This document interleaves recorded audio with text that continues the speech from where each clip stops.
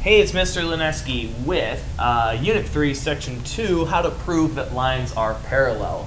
Before we get started, I actually want to take us back to Section 3.1 and make a point that I actually forgot to prove or talk about. Uh, many students were asking me during Unit 2, why are we doing all this converse, inverse, contrapositive stuff? How does this relate to math?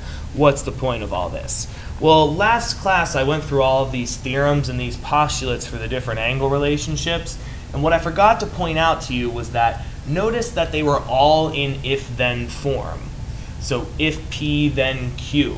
And one thing is that all of these P statements started off the same. If two parallel lines are cut by a transversal, that was the P statement in all of these theorems, that if the lines are parallel, then we can say corresponding angles are congruent. If the lines are parallel, alternate interiors are congruent. If the lines are parallel, consecutive interiors are supplementary. And so in section two, what we're going to look at are the converses of those things. So it's the same theorems, but the converses. So if you remember, conditional statement is PQ, that's what we looked at in section one. The converses are when we switch. Remember the song? Converse, inverse, contrapositive, switch, negate, switch, and negate. So the converse is when we switch. We switched. And so now, all those P statements on uh, section one, that was parallel lines cut by transversal. It started off with us saying, hey, these lines are parallel. Well, now we want to prove that the lines are parallel. And so if we look at the converses of all of those theorems, that will help us prove the lines are parallel. And so here it says if two lines are cut by a transversal so that the corresponding angles are congruent, then I can say that the lines are parallel. So that's the shorthand for parallel. You just kind of draw two parallel lines. It's pretty nice. The alternate interior angle converse states that if two lines are cut by a transversal so that the alternate interior angles are congruent, then the lines are parallel.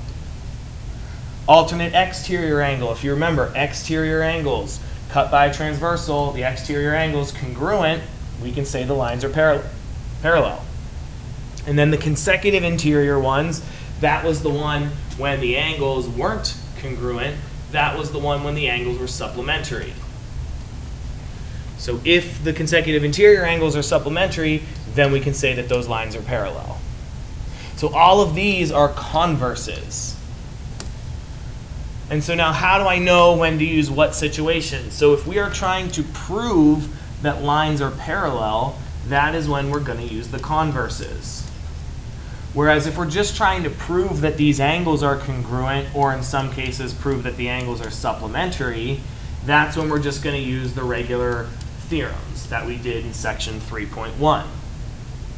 So anytime you're starting either of these problems, you always want to think about what is the relationship of the angles that you see. All those different scenarios we talked about in section 1. So remember though, there's basically only two scenarios that we see when it comes down to solving the problem. And that's what makes this nice and easy, is that we're either going to set these things equal to each other, or we're going to add them and set equal to 180.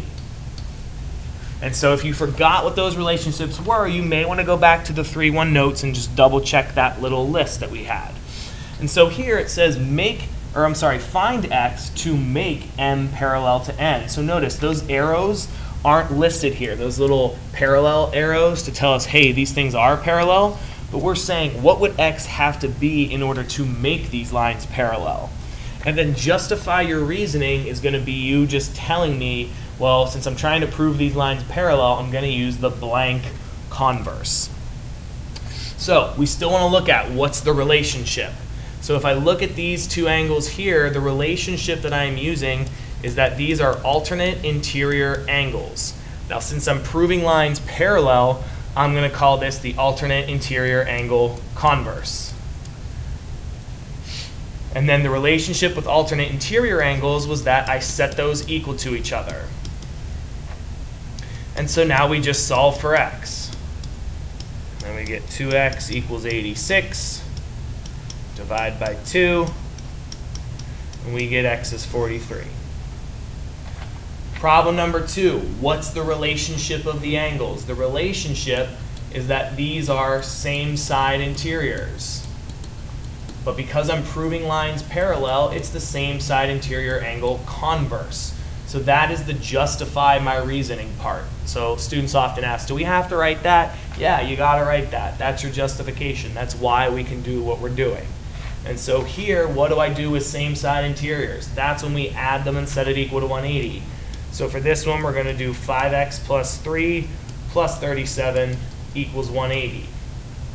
So that's 5x plus 40 equals 180. Subtract 40 from both sides.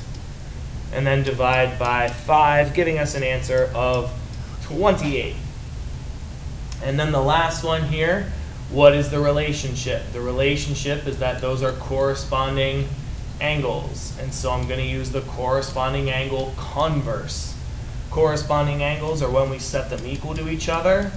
Hey, this one's easy. Divide by 2, done. So, what I want to do with the next two problems on the back, I'm going to do these problems with you, but I want to give you a little hint on how to maybe solve these problems if you're not great with the relationships. And the hint that I'm going to tell you is the ABBA-ABBA rule.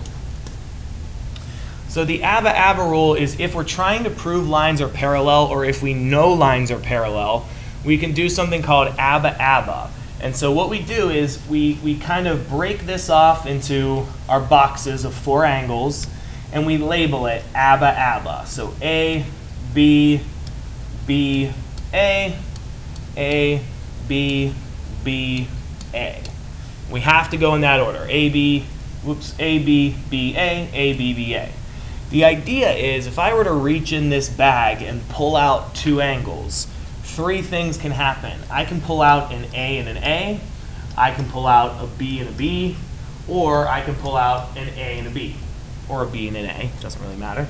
Um, so the idea is, well, what do I do if I get those letters? Well, if you reach in here and you pull out two A's, set them equal to each other. If you reach in and pull out two B's, set them equal to each other. If you reach in and pull out an A and a B, that is when you're going to add them together and set it equal to 180. So I can use ABBA-ABBA. Maybe I don't know the angle relationship that well yet, but I can at least use ABBA-ABBA to help me solve for x. Remember, there's only two scenarios, set equal or add and set equal to 180. So here I have A and A, hmm, A and A, I set those equal to each other. So we'll say 2x plus 31 equals 97. And now I can just solve for x.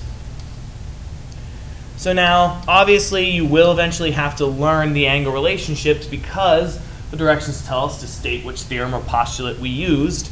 So the relationship between this angle here and this angle here is that those are alternate exterior angles. And because we're proving those lines parallel, we need to make sure we use the converse. So alternate exterior angle converse. So if I take a look at the uh, next problem, I'll use ABBA ABBA to help me out. A, B, B, A, A, B, B, A. And so notice where my angles are here and here, that's an A and a B. What do I do with A and B? I add and set equal to 180.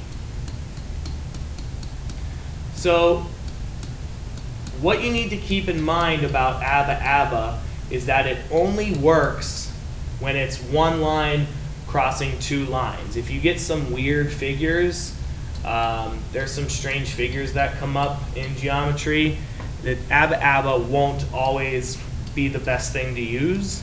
But if you have a nice standard figure like this, ABBA ABBA can help you out in a pinch. And so we divide by 4. Now again, I need to justify, well, why did I do this? What's the relationship here? So the relationship here is that these were same side interior angles.